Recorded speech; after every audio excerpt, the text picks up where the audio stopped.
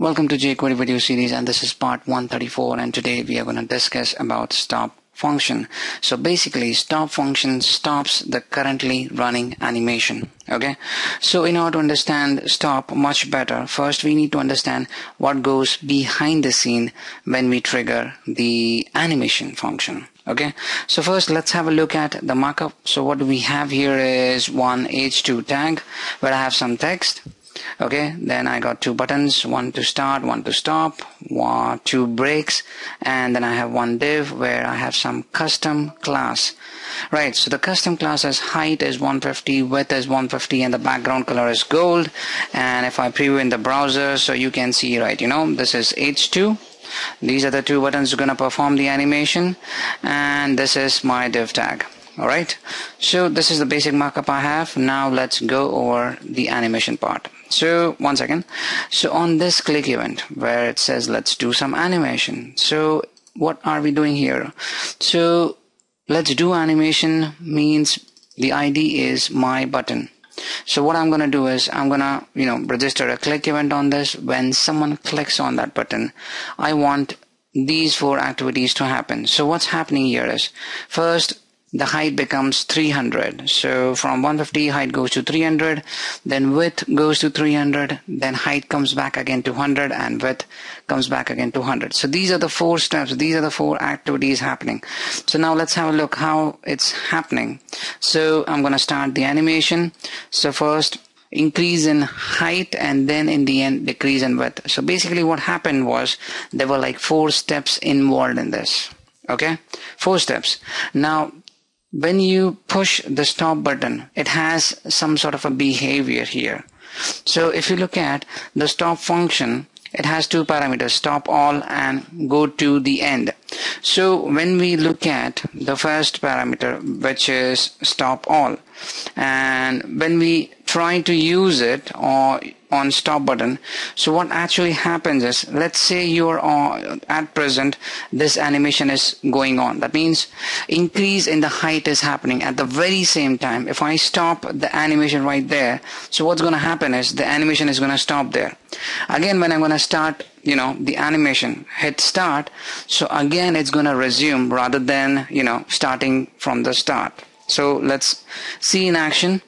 Uh, let me refresh and watch this. Okay so you understand the height is gonna grow. So what I'm gonna do is start and stop. So you can see what happened here was it has not reached 300 yet and I between in between I stopped. So when I click the let's do animation again. So it's gonna grow back again from its current state. So okay so you're getting it right? So basically we are playing pause and start again. So it resumes from its position when you put a condition as uh, stop as true. Okay, so now let me comment this part. Now the second one is quite interesting.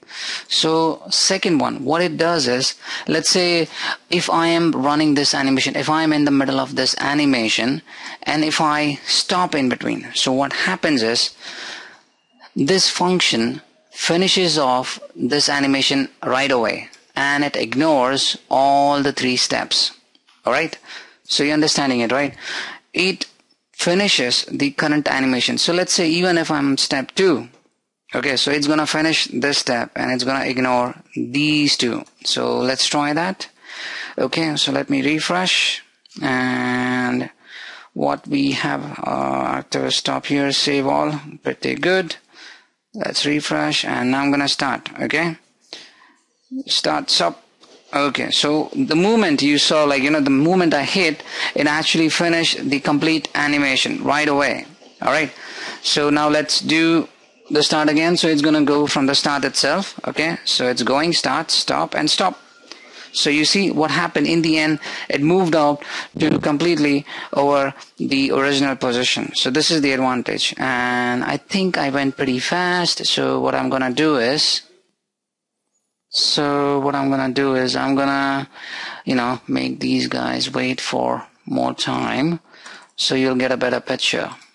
Control V, Control V, and Control V. So let's do this thing again. All right. So now this is going to take a while. So this is the first animation. this is going to take 5 seconds. If I stop it takes the 300 height right away.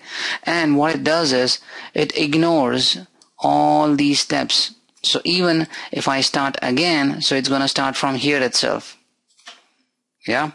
So after 5 seconds you will see there will be a slide on to the right side which is happening right now uh, actually what I did was I increased the duration right? So when I increase the duration I can see like what's going on. So I hope you got the idea like what actually is happening here. Everything is going step by step and you have to choose what kind of activities you want to stop sometimes it happens you want to play pause and play. So this is the one which is recommended. And when you want to clear rest of the queue from the point where you stand so in that case this is the function you can use. So i hope it gives you an idea what to do. All right. Up next we are going to do what? Mm, let me let me check.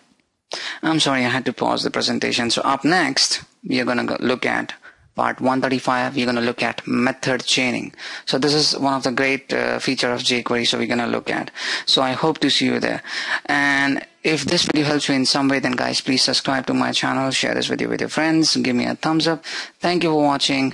Thank you for listening. Good night and take care